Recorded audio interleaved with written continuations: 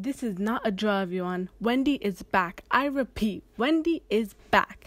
And is it just me, or am I the only one that keeps watching the video, their Milky Way live video, just to catch all the glances that the members are giving to Wendy? They look so happy, especially now that she's back and healthy, especially Seulgi and Joy. Joy is rather joyful. Get it? Joy, joyful, play on words. Haha, just me? Okay. And especially now, Joy's gonna need all her friends having her back and watching out for her because she has been under a lot of hate recently for uh, past photos, which makes no sense.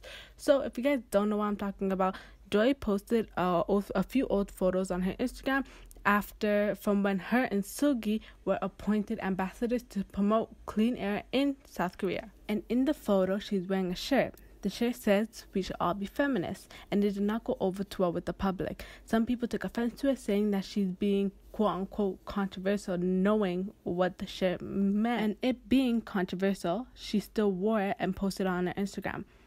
Anyway, however, many people did come to her defense saying first that, of all, what's wrong with the shirt? And second, she endorses the brand Dior, so it's not like out of the ordinary to think that she would wear a shirt, a shirt that's designed by the brand that she is endorsing.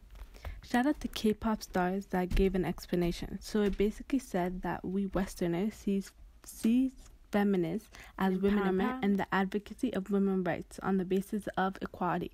But in Korea and other Asian countries, they see it as a more radical movement, leading to more women's superiority. Maybe to us, it's interpreted as bringing women up, while in Korea, they may see it as something different. But the photo is still up on our Instagram. If you guys still want to take a look at it, I love how she stood her ground and did not let them take them down and let others' opinions force her to quiet herself. Since, Since obviously Joy is not scared of the public, I've always wanted to know if she is scared of ghosts because it seems that 17 Wonwoo and Hoshi can see them. Now, I know you guys are probably wondering what the heck am I talking about? Now 17 Hoshi and Wonwoo can see ghosts. But if you guys haven't watched the recent Going 17 episode where 17 members participated in a haunted house where they had to find a key and escape escape before getting caught by the staff members and being eliminated. But when it was Wonwoo's turn, he ran around the haunted house as everyone else did, but apparently he saw a female ghost. Which is very weird. When he came out, he asked the staff if there was a female ghost, and all the staff members said no, there wasn't. There was only male staff members dressed as females. So everyone was very confused. Then, after some of the other members did their turn, Hoshi came out and also said he saw a female ghost, the same female ghost that Wonwoo did in the same creepy so room. So I'm kind of wondering if they have a connection to the ghost or not. Tell me what you guys think in the comments down below.